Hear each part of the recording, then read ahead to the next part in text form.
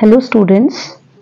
Today we are going to do second chapter of class 11th that is, We are not afraid to die if we can all be together.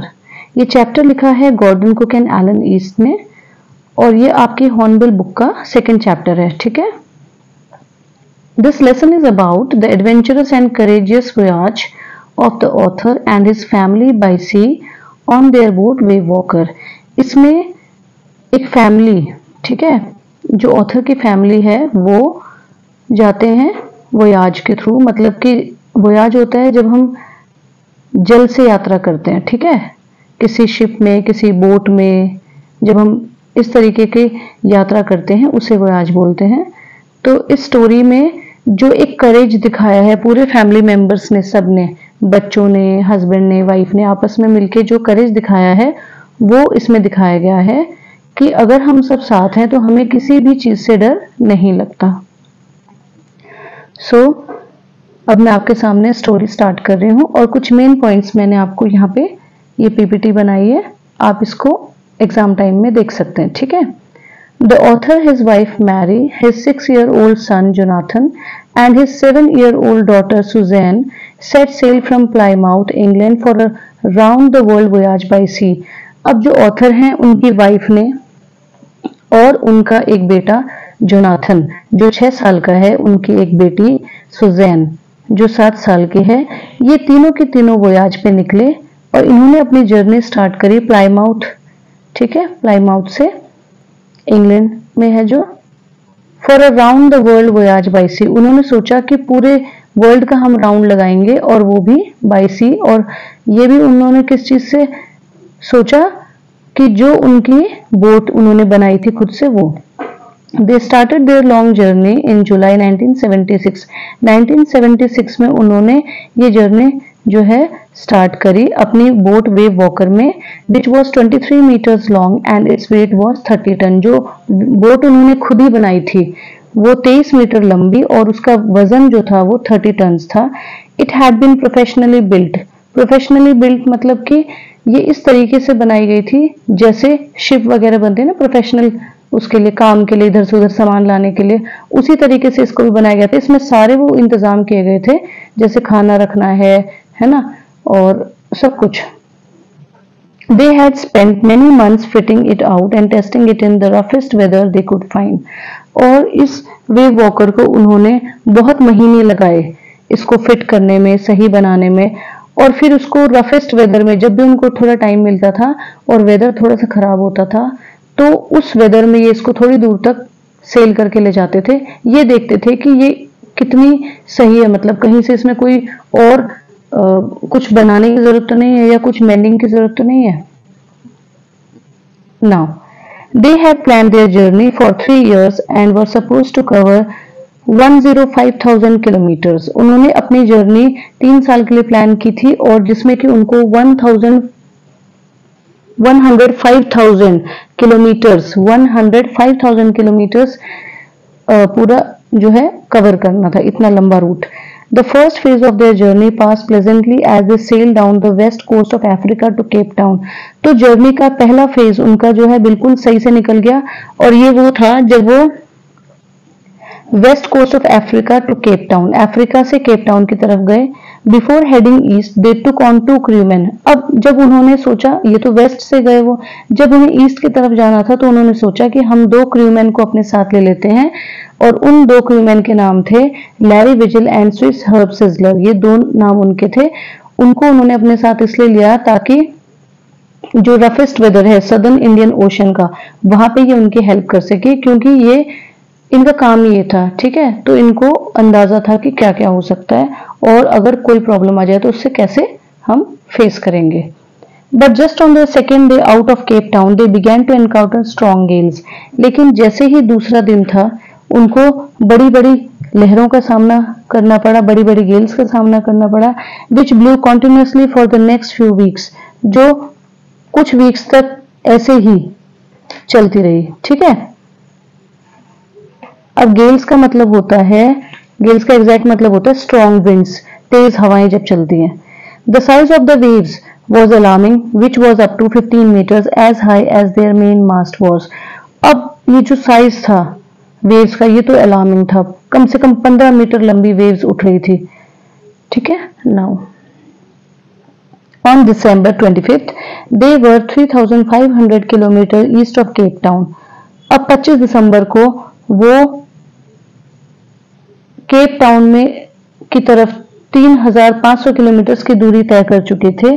Though the weather was extremely bad अब weather तो आपको पता ही है, इतनी तेज हवाएँ चल रही थी ऊँची ऊँची लहरें उठ रही थी तो वेदर तो अच्छा नहीं था, लेकिन फिर भी उन्होंने अपना क्रिसमस जो है बहुत अच्छे से मनाया। Even on new year's day there was no improvement in the weather और नया साल भी आया एक जनवरी को, तब भी बिल्कुल मतलब 25 दिसंबर से पाँच दिन और निकल गए, छह दिन और निकल गए दिसंबर के, और एक जनवरी को बिल्कुल भी अच्छा मौसम नहीं था। At dawn on January two the waves were extraordinary large and high दो जनवरी को भी वेव्स जो हैं, वो बहुत ही बड़ी बड़ी उठ रही थी, पंद्रह मीटर से भी और बड़ी बड़ी to lessen the effect of enormous endless waves they drop the storm jib to slow down the boat They lashed heavy mooring rope in a loop across the stern. At about 6 p.m., there, there appeared a wave perfectly vertical and almost twice the height of other waves. अब इन्होंने सारे वो इंतज़ाम करे अपनी boat में जिससे कि पानी अंदर ना आ सके या जो लहरें हैं उनका हम सामना कर सकें लेकिन छह तारीख को छह बजे क्या हुआ छह बजे के करीब दो तारीख को ही जो वेव थी वो बिल्कुल वर्टिकल लंबाई में, ठीक है? और कितनी? हाइट में दुगनी। Then a explosion shook the deck एकदम से एक एक्सप्लोजन हुआ और उसने पूरे इनके वे वॉकर बोट को हिला दिया। A strong fast stream of green and white water broke out the ship अब हरे रंग का पानी मतलब वहाँ पे ऐसा पानी था जो बिल्कुल बोट के अंदर आ गया The authors had smashed into the wheel and he was aware of flying overboard and sinking below the waves it seem to him that he was approaching death author जो है वो उन वेव्स में नीचे पानी में गिर गया और उसका हेड जो है वो साइड बोर्ड पे लगा उसे लगा कि उसकी डेथ जो है वो नजदीक है Then unexpectedly the author's head came out of the water a few meters away. Wave walker was nearly overturning. अब अचानक से जो ऑथर का हेड है, वो पानी से ऊपर आया उसने देखा थोड़ी मीटर की दूरी पे उनकी वेव वॉकर है but a wave hurled it upright. He grabbed the guard rails and sailed through the air into its main boom. उन्होंने वो जो बाहर से बोट में लगे होते हैं ना फेंसिंग वो पकड़ी और वो उसके अंदर चले गए his left ribs were cracked and his mouth was filled with blood and broken teeth उनके लेफ़्ट रिब जो है वो टूट चुके थे दांत भी अंदर टूट चुके थे और अंदर मुँह में पूरा खून भरा हुआ था somehow he found the wheel land up the stern for the next wave and hung on और फाइनली उनको वो व्हील मिली जिससे बोट के डायरेक्शन को चेंज कर सकते थे There was water everywhere. The author felt that the ship had water below, but he did not dare to leave the wheel to investigate. अब हर जगह पानी पानी था और कुछ भी नहीं दिखाई दे रहा था ऑथर को लगा कि पानी शिप के नीचे भी पानी आ गया है लेकिन वो व्हील को किसी भी कीमत पे छोड़ना नहीं चाह रहे थे क्योंकि उनको डायरेक्शन चेंज करके शायद ऐसी डायरेक्शन में ले जाना था जहाँ थोड़ा सा वेदर ठीक हो his wife Mary came to him she screamed that they were sinking उनकी वाइफ मैरी उनके पास आई और वो रोने लगी उन्होंने बोला कि हम ना डूब रहे हैं शायद She told him that the decks were smashed and they were full of water. He asked her to take the wheel. Take the wheel. अब उन, उन्होंने बोला कि देखो हर जगह पानी वानी भर गया है सब कुछ इधर उधर बह रहा है और अब यहाँ पे जो ऑथर है, उन्होंने अपनी वाइफ को बोला कि चलो अच्छा ऐसा करो, तुम परेशान मत हो, तुम ये व्हील पकड़ो, ठीक है? Through hatch we went down and found that Larry and Herb were pumping fastly and continuously अब ये जो दो क्रीमन उन्होंने अपने साथ लिए थे, वो क्या काम कर रहे थे? पानी पंप करने का काम कर रहे थे। पानी जो बोट में भर गया था, उसे बाहर पंप कर रहे थे। Broken timbers were hanging the whole starboard side was bulged inwards clothes crockery chart tins and toys were swimming noisily noisily in deep water अब बोट जो है, वो टूट चुकी थी ऑलमोस्ट और उसके अंदर जितना भी सामान था, कपड़े थे क्रॉकरी था चार्ट्स थे, है ना, बच्चों के लिए? चार्ट्स थे, बच्चों के टॉयज थे। ये सब जो है पानी में तैर रहा था। The author half seven half scrambled into the children's cabin Sue's head was found to be hurt अब ऑथर ने सोचा कि चलो ऐसा करते हैं, बच्चों के कैबिन में जाके देखते हैं, बच्चे ठीक है या नहीं। तो उन्होंने देखा कि उनकी बेटी सुजैन का हेड जो है वो काफ़ी सूज चुका था। There was a big bump over her eyes उसकी आँखों के ऊपर एक मोटा सा बम्प था सूज गया था चोट लग लग के।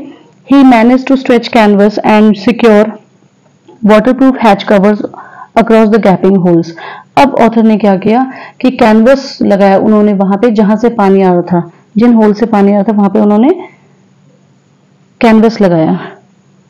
Hand pump started to block up and electric pump was short circuited.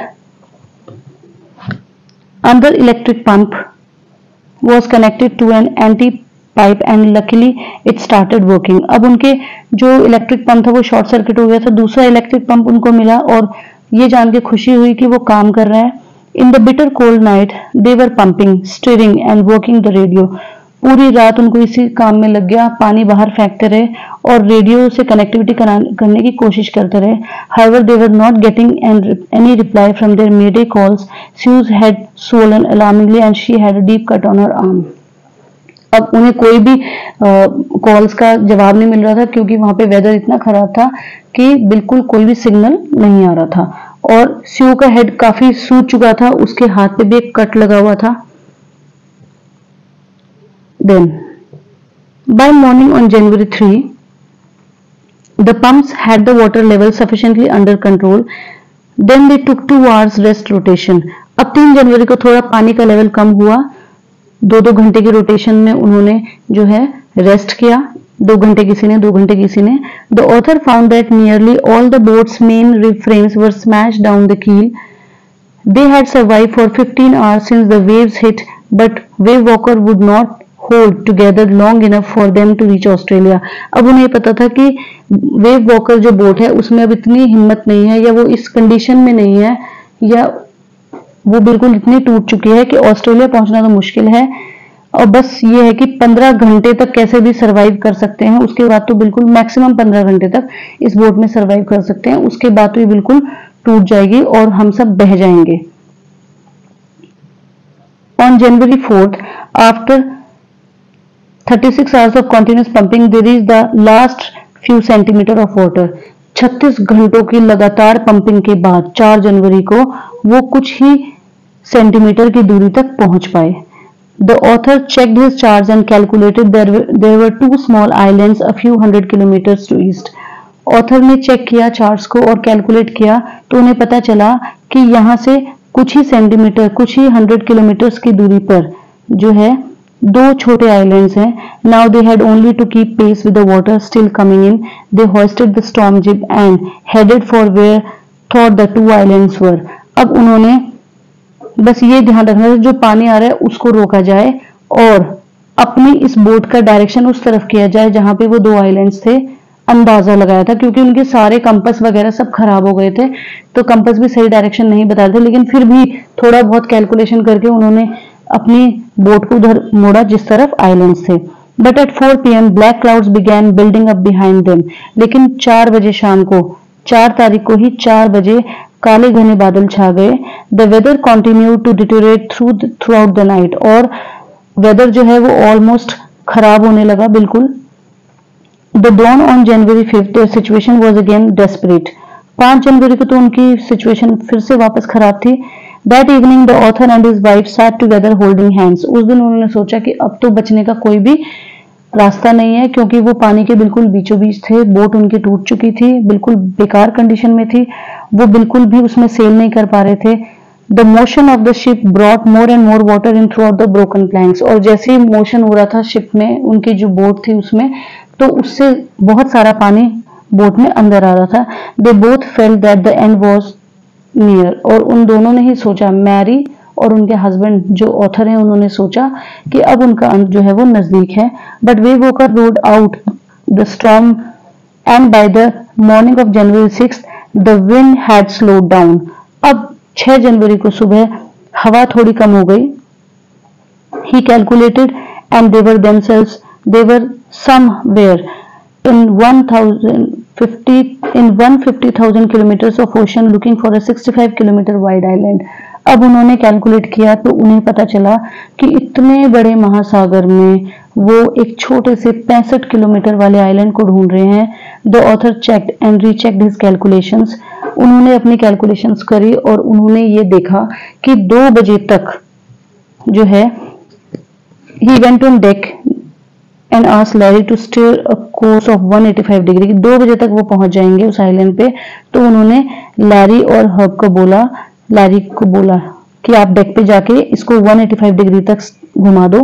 He told Larry that if they were lucky he would expect to see the island at about 5 PM और अगर किस्मत हुई, हम वो लकी हु, हम lucky हुए तो हम जो है पाँच बजे तक आइलैंड पहुँच जाएँगे अंदाज़ा है। Then the author went below climbed on his bunk and dozed off अब ऑथर नीचे आया उसने हल्की सी एक नींद ली।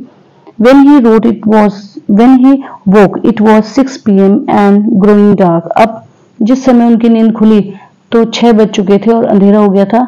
अब क्योंकि आ, उनके कैलकुलेशन के अकॉर्डिंग उन्हें आइलैंड पे पाँच बजे तक पहुँचना था लेकिन अब छह बज चुके थे और बिल्कुल अंधेरा था उन्हें कुछ भी नहीं दिखाई दे रहा था। एकदम से उनका बेटा उनके पास आया। और उसने बोला कि, पापा, क्या मैं आपको हक कर सकता हूँ? Sue was right behind her और उनकी बेटी जस्ट उनके पीछे थी। Sue told him that he was found he has found the island और फिर उनकी बेटी ने बोला कि, पापा, आप बिल्कुल घबराओ मत, हमने आइलैंड ढूंढ लिया हम आइलैंड पे हैं। He rest on the deck and gazed with relief at the stark outline of Ile Amsterdam और वो जो आइलैंड था, उसका नाम था इल एम्स्टरडैम और ये आइलैंड था छोटा सा जिसपे सिर्फ़ 28 इनहेबिटेंट्स रहते थे 28 परिवार रहते थे 28 लोग रहते थे। Next morning all 28 inhabitants of the island cheered as they held them ashore वो जो 28 लोग थे, उन्होंने इनको किनारे पे लाने में मदद करी अगली morning Sue had to undertake six minor operations to recover और स्यू को जो सिर पे चोट लगी थी, उसको कम से कम छह इंजरीज हुई। छह उसके ऑपरेशंस हुए और फिर वो फाइनली ठीक हो पाई so this was the story I hope सबको समझ आई होगी। एंड नाउ थीम इसकी जो है वो यही है कि हम जब एक साथ हैं तो हम किसी भी मुसीबत से लड़ सकते हैं। ब्रेवरी किस तरीके से ब्रेवरी दिखाई? लैरी ने हर्ब ने और मैरी ने, उनके हस्बैंड ने, बच्चों ने। और सबसे बड़ी चीज़ जो थी, वो थी यूनिटी सबके बीच यूनिटी थी। सब मिलजुल के काम कर रहे थे और इस परेशानी का सामना कर रहे थे। मॉडल इसका यही है कि जब हम इकट्ठे एक साथ रहते हैं तो हम किसी भी परेशानी से लड़ सकते हैं। Thank you this was only for the day